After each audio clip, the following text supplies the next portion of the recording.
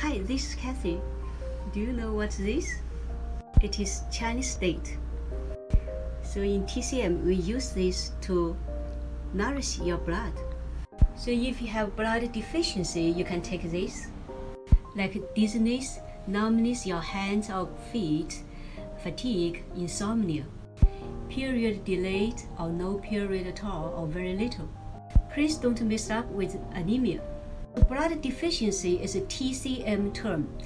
Uh, you may have uh, anemia at the same time or you may not. So Chinese dates, red bean, goji berry, all good for blood deficiency. You can press this point SP10.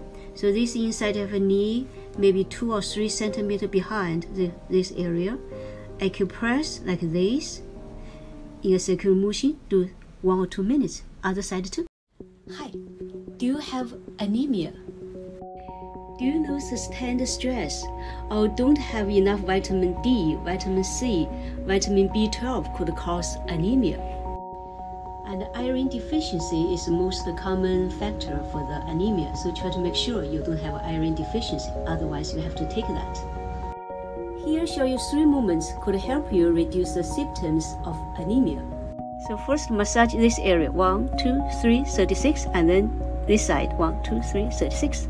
So second, I can press like this wrist line in the middle, like this, 36, and also here, 36. So last, put your two hands together and put under your belly button, like this area, and then in a circle motion massage, 36 times. Please reduce tea, coffee, alcohol, and chocolate.